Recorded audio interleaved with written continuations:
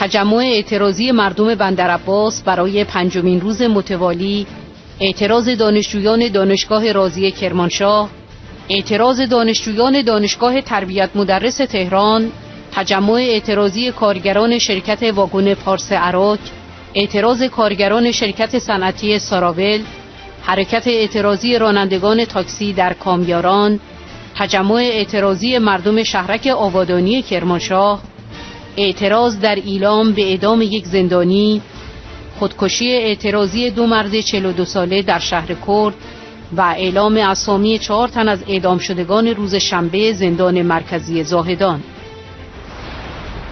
مردم بندرعباس برای پنجمین روز متوالی در اعتراض به طرح جدا کردن بخشی از استان هرمزگان در مقابل استانداری رژیم در این شهر تجمع کردند. حضور زنان در این تجمع چشمگیر بود.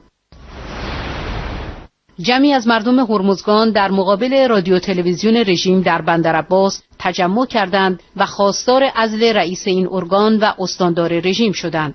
تظاهر کنندگان از جمله شعار می‌دادند هرمزگان شده فلسطین پارسیان آزاد نشه بندر قیامت میشه. سکوت هر بندری خیانت است به استان صدا و سیمای بیلیاقت نمی‌خوایم.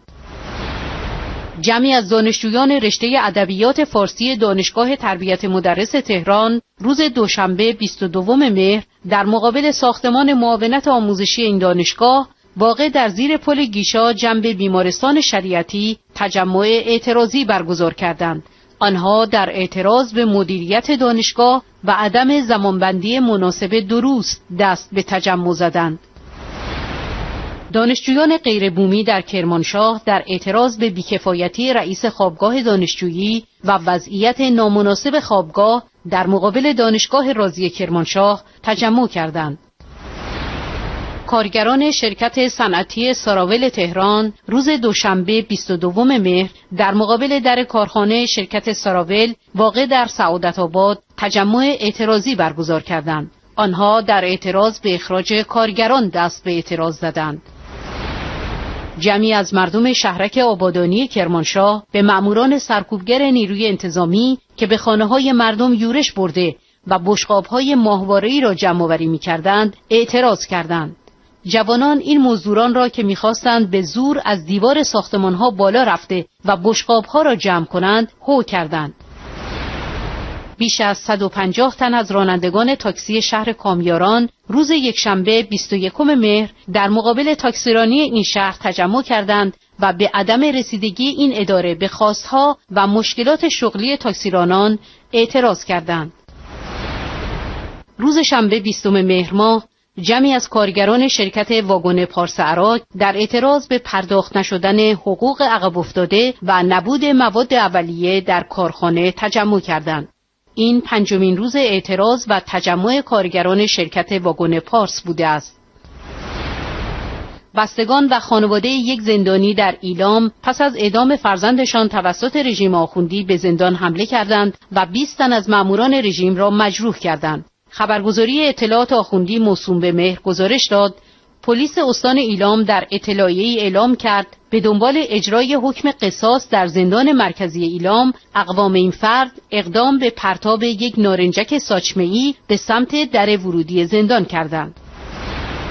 دو مرد 42 ساله اهل شهر کرد روز یکشنبه 21 مهر ماه در اعتراض به اجحافات رژیم قارتگر آخوندی که باعث ورشکستگی آنان شده بود در مقابل ساختمان فرمانداری رژیم در این شهر دست به خودکشی زدند.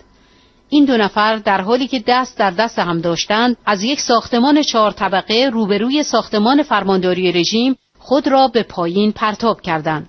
آنها رضا و محمد نداف پسر امو و شریک تجاری بودند و سالها در صنعت صادرات سنگ فعالیت داشتند. اسامی چهار تن از اعدام شدگان روز شنبه زندان مرکزی زاهدان اعلام شد. این افراد عبارتند از حمزه گماشازهی، شاه محمد براهویی، ناصر برزنگ و حسین صوفی. روز شنبه بیستم مهر رژیم ضد بشری آخوندی در یک اعدام جمعی پانزده زندانی را در زندان مرکزی زاهدان به دار آویخت. گفته می شود ممکن است سه زندانی سیاسی در میان اعدام شدگان باشند برخی از زندانیان از بند زنان و بند جوانان بودند.